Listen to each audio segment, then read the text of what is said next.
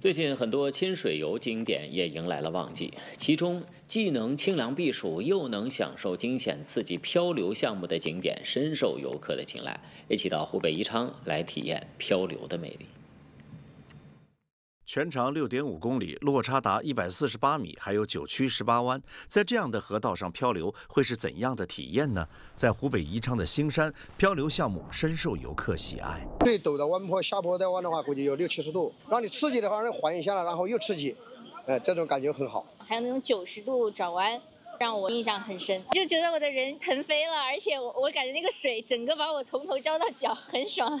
宜昌兴山山高坡陡，沟深谷幽，水流湍急，漂流而下，不仅能体验穿激流、越险滩的刺激澎湃，也能欣赏诗情画意、自然风光。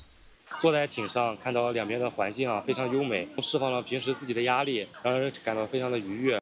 漂流是一项回归自然、挑战自然的休闲活动，在享受亲水快乐的同时，也要注意安全。工作人员提醒，漂流全程必须穿着救生衣，如遇翻艇，要听从救生人员安排，切勿惊慌。